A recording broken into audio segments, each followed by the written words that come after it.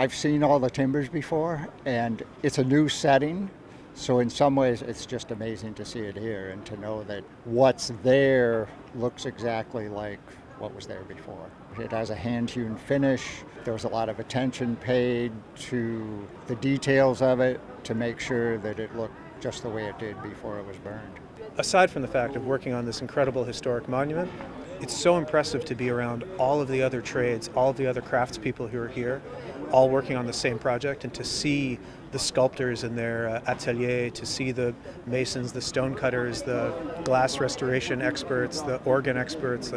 It's unbelievable. It's really a city inside the city. We're five or six hundred people on the site every day, all with different specialties. It's, it's an impressive, impressive thing to see.